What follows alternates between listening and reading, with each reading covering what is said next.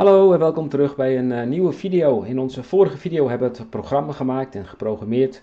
En in deze video gaan we kijken of het uh, ja, programma functioneert. Of dat we nog iets uh, moeten bijstellen of nog wat moeten ja, optimaliseren, zullen we maar denken.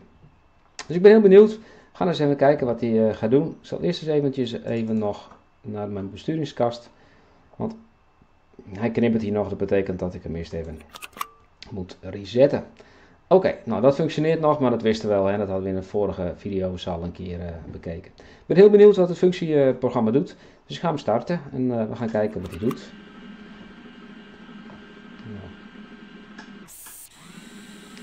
Oh jee. Dat gaat niet goed hè. We zien dat het uh, niet goed gaat, dus we moeten eerst maar eens even kijken van, nou waar zit dan nu het probleem. Ik stop even de animatie. En als ik nu denk van dat ik hem weer aan kan starten, dan vliegt hij gelijk weer naar hetzelfde uh, toe. Dat heeft ermee te maken namelijk dat uh, de Siemens S7 1200 die houdt zijn uitgangen in de zetstand. En dus ik zal dit even luid aan, dat is wat extra lawaai. Als je hier zo kijkt, die even naar beneden en ik scroll wat naar beneden, dan zie je ook al hebben we de animatie gestapt van Factory I.O. Je ziet toch dat hij in stap 2 staat. Ja, en hij moet natuurlijk in stap 1 beginnen. Dus wat we willen is eigenlijk van op het moment uh, dat het de uh, boel stopt, dat hij natuurlijk ook teruggaat naar zijn originele stand, namelijk naar stap 0 en stap 1. Ja, nou, voor nu kunnen we zeggen van nou ik stop even de CPU. Oké, en als ik opnieuw de CPU start hier bovenin, dan zie je dat hij weer in de beginstand staat. En dan zul je ook zien dat mijn robot, als ik hem weer aandoe, weer lekker uh, staat daar waar hij moet staan, namelijk in het begin. Dan gaan we goed kijken, want ik had een beetje een idee dat deze lopende band hier, die aanvoerband, dat hij wat stond uh, te shaken. Dus we gaan nog eens een keer goed kijken van wat er daadwerkelijk nu gebeurt. Dus ik zal hem eerst even weer resetten. Anders kan ik hem niet starten. Het duurt eventjes en nu ga ik hem starten. En dan gaan we ons even focussen op die band die dan daar bij die robot, dat er gebeurt iets wat niet helemaal goed is. Gaan we eens een keer kijken. En focus ook gelijk even hierop, dit verhaal. Dus hij stopt, hij wil naar beneden en nu gaat die lopende band. Oh, kijk eens, hij is alweer eigenlijk uitgezet. En dat kan natuurlijk niet, want hij is in stap 1 geweest en zou dan gelijk door moeten gaan naar stap 2. Maar dan moet stap 1 natuurlijk niet weer. Dus daar zit een fout en moeten we even kijken wat er aan de hand is. Nou, het lawaai haal ik even weg. En ik haal hem even uit de monitorfunctie. Wat is hier nu het probleem? Um, als je goed kijkt bij het aanvoeren, bij System Run, uh, die werd gelijk weer hoog. Dus daar heb ik iets niet goed gedaan. Dus wat hier eigenlijk gebeurt is, uh, op het moment dat ik in stap 2 uh, eh, kom, dan reset hij hem wel. Maar die System Run, dus dat het systeem actief staat, die zorgt er ook gelijk voor dat die stap 1 weer gelijk wordt gezet dus dus hier komt een, uh, een, een, tegenwerking. Nou, hoe kunnen we dat oplossen? Ik denk dat we het makkelijk kunnen oplossen door te zeggen van uh, op het moment dat ik uh, de start push button, dus deze jongen indruk, dan start ik het systeem. En dat doe, doe, ik eigenlijk maar één keer. dus één keer wordt hij dan bij het begin gezet. En dan gaat hij wel verder met de stappen. Kijk hier gelijk ook nog even na trouwens, want ik heb hier wel een timerbeweging x-as, maar die heb ik hier volgens mij verderop ook nog eens een keer. Timerbeweging x-as en dat is in stap 6. Dus dan gaat het volgens mij ook niet goed. Dus om hier eigenlijk nog te voorkomen dat het hier ook niet goed gaat, zou ik kunnen zeggen van, hé hey, weet je, uh, stap 1, daar uh, mag je weer inkomen als hij stap 8 heeft gehad. Ja, dus ik hoop dat het een beetje duidelijk is. Dus voordat hij hier weer terug mag komen, voordat deze timer actief mag worden, wil ik in ieder geval zeker weten dat hij ook hier uh, stap 8, 8 heeft gehad. Dus stap 8 zet ik hierin. Um, en wat ik zei, hè, de push button. Dus ik druk één keer op de start. Start. Push button. Dus als ik hier één keer op klik, hij is hoog, ik klik hier één keer op, dan gaat hij één keer in die stand. En dan uh, zullen we het nog eens proberen.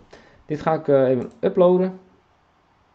Ik denk dat het vrij snel zal gaan. Yes, override. En dan gaan we hem zo meteen nog eens starten. Simulatie erbij. Oh jee, ja. En dat is nog steeds het nadeel. Hij vliegt nog steeds weer gelijk uh, naar die standen toe. Dus uh, wat we moeten doen is nu, laten we dat gelijk maar goed oplossen, want anders blijven we bezig. We hebben ook een reset modus uh, ooit eens een keer aangemaakt. Dat heb ik laten zien hier in de main stand. Main. En dan hadden we een reset mode. Dus wat we nu gaan doen is, we gaan ervoor zorgen dat op het moment dat ik hem in de reset mode zet, hè, door middel van die reset eh, push button, dat ook die reset mode van invloed is op onze stappen. En dat wouden we eigenlijk ook al doen, want we wouden die reset daarom hadden we daar ook 3 seconden voor bedacht. Ooit met de bedoeling om als het ware dus de stappen de tijd te geven om terug te kunnen keren. Nou, dat zie je nu inderdaad uh, gebeuren. Dus wat ik wil uh, voorstellen is het volgende. We gaan hier onder die stap 2, die normaal gesproken wordt gereset. Daar doen we een extra uh, reset onder. En dat doen we door middel van de reset modus. Reset mode. Kijk, op die manier.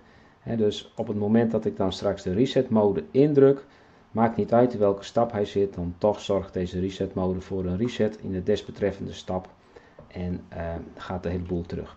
Dat doe ik even voor alle stappen, dus ik pauzeer even de video en ik ben zo terug.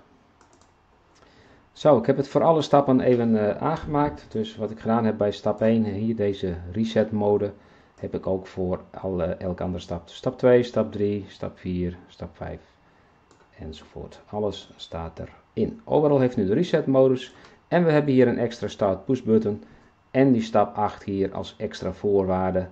Uh, zoals uh, als deze niet gaat, dat hij bij de tweede, tweede keer dat de cyclus afloopt, hè, dat hij stap 8 meeneemt en die timerbeweging x-as. Oké, ik zet hem in de monitorfunctie. Wordt deze oranje en de lijnen worden groen. En we gaan eens even kijken van wat het systeem nu doet. De robotarm vliegt gelijk eruit. Nou, daar hadden we nu een trucje op. Hè. Op reset. Kijk hoe mooi dat functioneert. Ja? Een beetje zo. Is een beetje lastig. Oké. Nou, ben ik heel benieuwd wat hij nu doet. Ik druk op start. Kijk ook even hierna. Pakketje komt eraan.